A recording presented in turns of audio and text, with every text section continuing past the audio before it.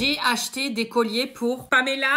Ah, elle se réveille. Nous allons commencer par un collier qui vient de Jewelry. Il a coûté 2 millions d'euros. Il est en perles d'huître d'Arcachon avec de pierre saphir. Ça rappelle un peu le cœur de l'océan d'un Titanic. T'aurais pas pu laisser un peu de place avec ton gros cul rempli de cellulite sur la planche Le pauvre Jack, il est mort. De la gueule ou quoi Tu me sens la bouche?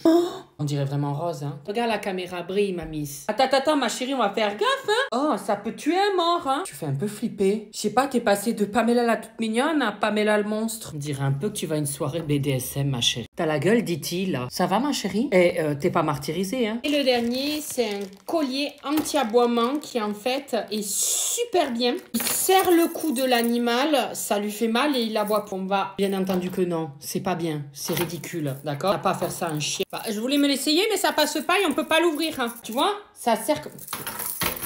Vraiment, il y en a, ils sont vraiment complètement baisés de la tête. hein.